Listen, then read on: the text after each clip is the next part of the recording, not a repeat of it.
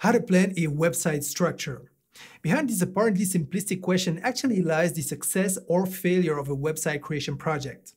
So stay tuned if you want to make your website creation project a success.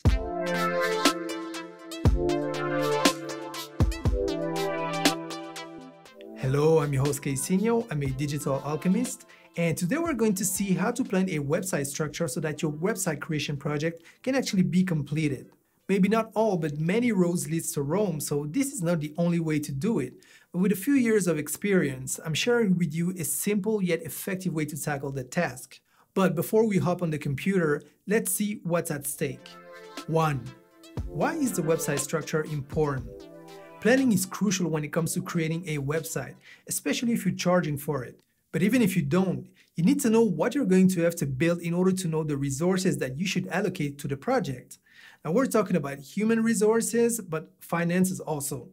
And it all starts with a plan. Now, would you consider building a house without having some kind of plan? Well, it's the same for a website. The more time you spend outlining how the website will be structured, the less surprises you will get when it's actually time to create the website. Now, once again, if you're building a website for yourself, all you may lose is time, but if you're charging for it, you will lose money and possibly a lot of money. And time also. Two, which tools do you need? Now you can use pen and paper if you wish, or if you prefer to do it on the computer, you can use free tools such as Notepad on Windows or, or TextEdit on the Mac. Now, if you want dedicated tools, there are plenty, but to be honest, I prefer to use something like Photoshop or even better, Affinity Designer, which I've already talked about a lot on this channel because I love Affinity product and I'm not being paid to say that. Let's be clear about that. Now, if you don't have any of these tools, you can still use the GIMP, which is completely free. 3. The brief, identify the needs. The brief is very important because this is where the outline of the website starts. You can make it as long and complicated as you wish, but I like to keep things simple. So basically what you need is first to gather the stakeholders. Now, if it's just you, then you're already there. But if there are several people that have their say, make sure you plan a meeting ahead of time. Next, when the meeting comes, start brainstorming. For example, what type of content is absolutely crucial on the website? What type of content would be nice to have while not essential? What actions do you want the users to perform? Now, if possible, interview the people from the company, but also customers or potential customers. Also, make sure that you think about the user experience, and you'll see what I mean in a moment. 4. Check the competition. Once you've got the initial brief, make sure that you Google the keywords for which the company wants to be found, and I'm talking about long tail keywords. Now let's take an example. Let's say that you'll be building a website for a co-working space. So you would type something like co-working space plus the name of the city and possibly even more keywords. Now look for the top websites and start analyzing the content and the structure that they have. If they're ranking on the first page of Google, they must be doing something right. Right. Now, SEO is much more than that, and that's beyond the scope of today's video, but it's important to take it into consideration but also from a user experience and logical point of view, it may give you a different perspective than what came out from the initial brainstorming session. Compare the results of your analysis to the website structure that initially came out of the brainstorming session and make the necessary amends.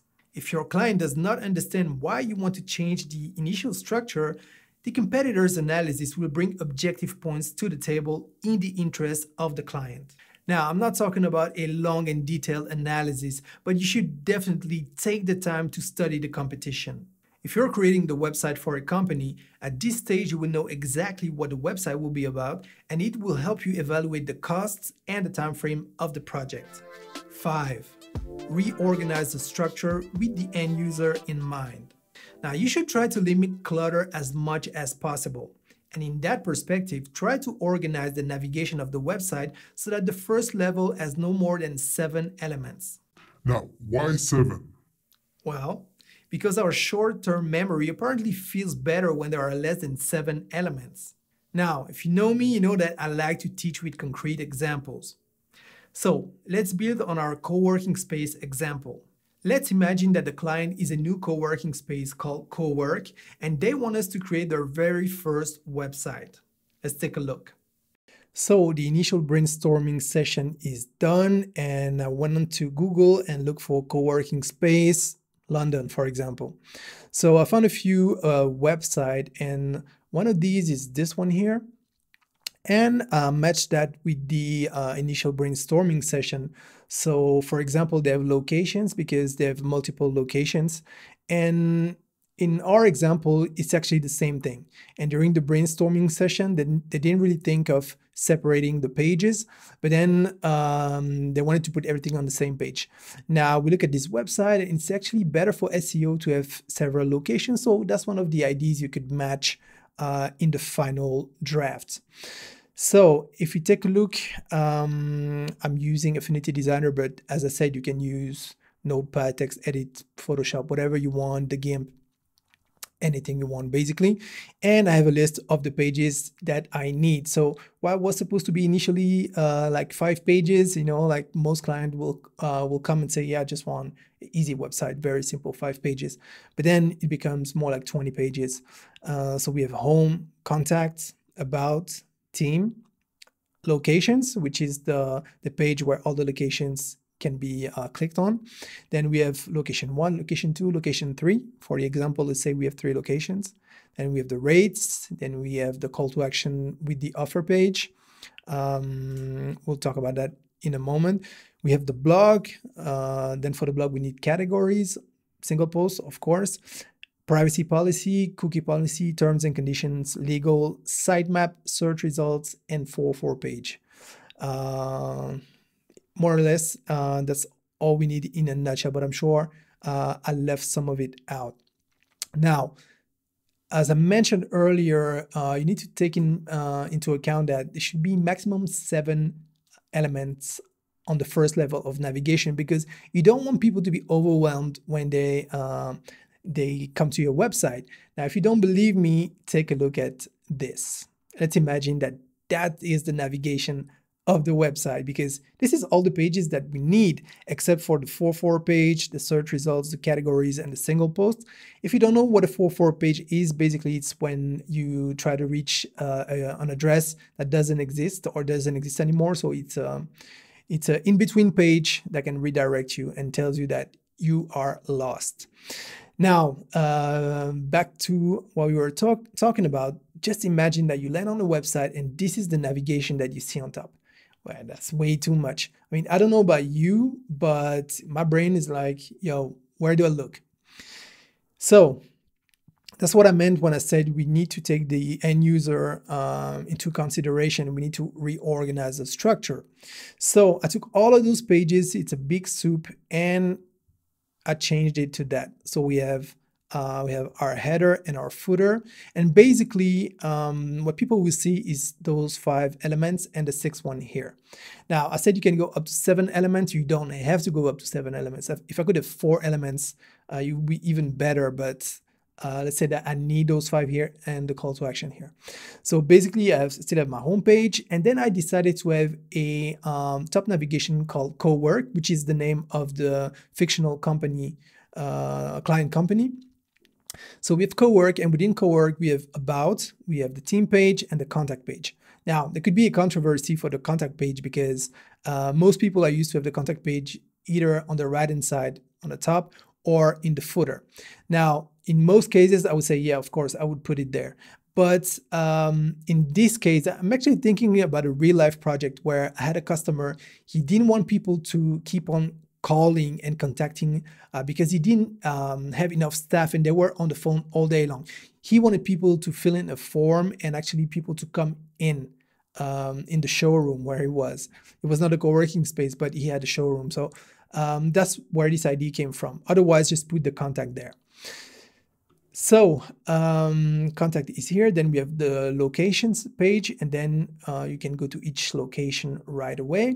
Then you have the blog, then you have the rates, and then we have the try free offer. And basically, that's what I just explained. The try free offer is a page with a form. And basically, for this example, it could be that people can get um, a couple of hours free in the co working space or a full day free.